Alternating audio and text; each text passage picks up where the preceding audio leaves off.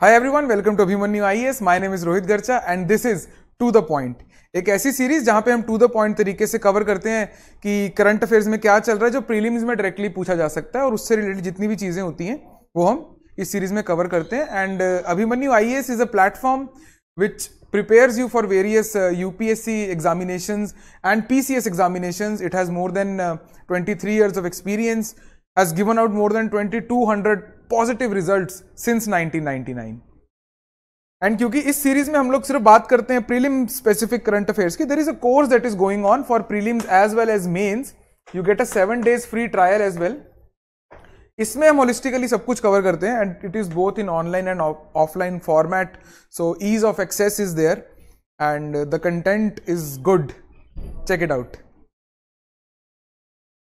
आज का जो हमारा करंट अफेयर है, जो प्रीलिम स्पेसिफिक रहेगा that is fourth tiger reserve है ना in Ranipur wildlife sanctuary ये ऑलरेडी वहाँ पे है, ये यूपी में है तो वहाँ पे इसके अंदर ही एक टाइगर रिज़र्व जो है, वो घोषित किया गया है बहुत recently UP cabinet has approved the notification of the state's fourth tiger reserve चौथा टाइगर रिज़र्व है ये यूपी का.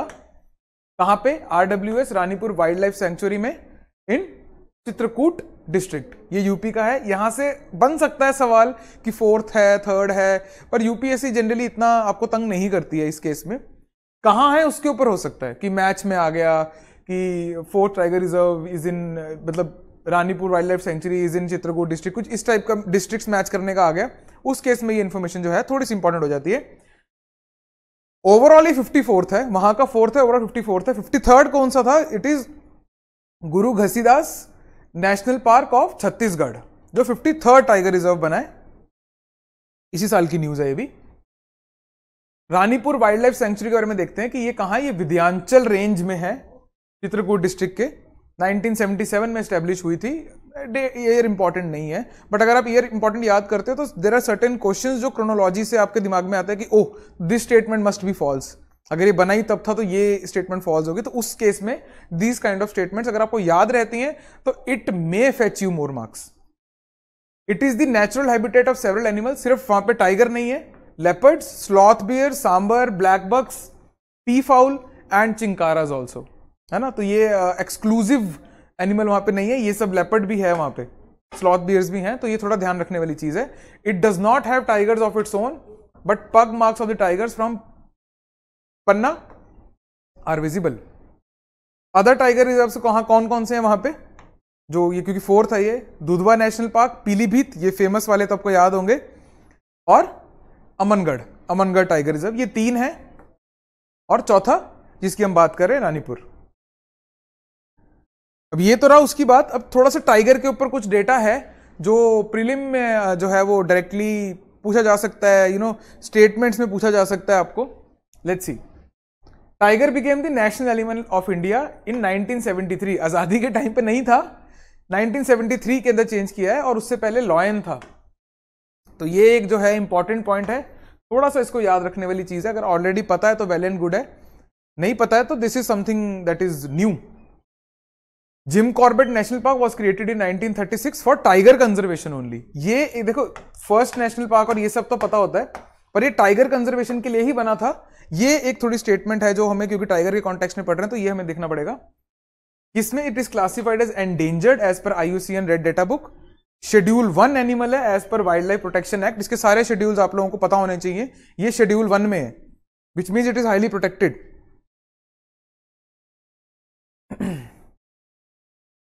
ये एक इंपॉर्टेंट प्रीलिम पॉइंट बनता है। ये आप ज़रूर याद रखिए कि tiger can be killed under two conditions only one कि इट इज़ डिजीज्ड और डिसेबल्ड बियॉन्ड रिकवरी तो tiger can be killed it is the threat to human life तो आपको कई बार न्यूज़ आती होगी कि ऐसे टाइगर को मारा है, अभी रिसेंटली भी चल रहा है कुछ I am forgetting the name of the place but वहाँ पे भी टाइगर इसीलिए क्योंकि it has killed 19 people of that particular area तो tiger had to be killed